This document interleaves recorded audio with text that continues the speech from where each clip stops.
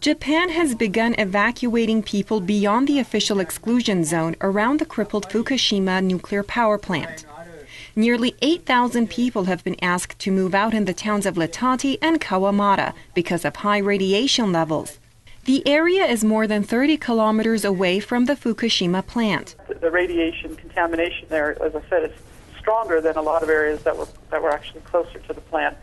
But uh, on the other hand, this is creating more disruption. And uh, the order for people to move out, uh, if people decide not to move out, my understanding is there'll be no punishment or penalty. These people will join the tens of thousands who've already been forced out of their homes by the nuclear crisis at the Fukushima plant. To them, it's really painful to leave their houses because of a danger they cannot even see. It's such an incredible shame to have to leave the house that I lived in and grown used to. I can't even express it in words. The wider evacuation comes after more news came out about the meltdown of fuel rods at Fukushima's reactor number 1.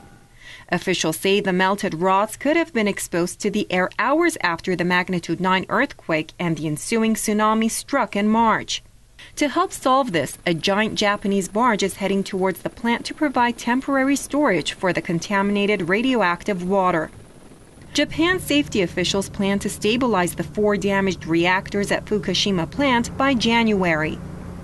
But it remains to be seen whether they can meet the deadline and stabilize things in the aftermath of the world's worst nuclear accident in the past 25 years.